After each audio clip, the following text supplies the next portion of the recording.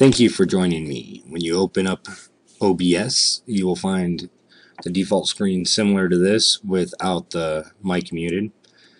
Uh, you should have a scene already built. If not, push the plus sign and make one. We're going to do a screen capture today. So we'll go to sources, push the display capture. Go ahead and label it whatever you want. I'm going to use the default and there you go. Click OK. You'll see that it's way up here in the corner collapsed so if you right click and you go to transform and you go to fit screen you'll see that there's still nothing there. So we're gonna fix this with a real quick and easy search.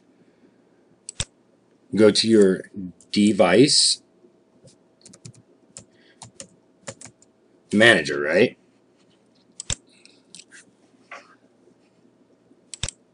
you want to go into display adapters?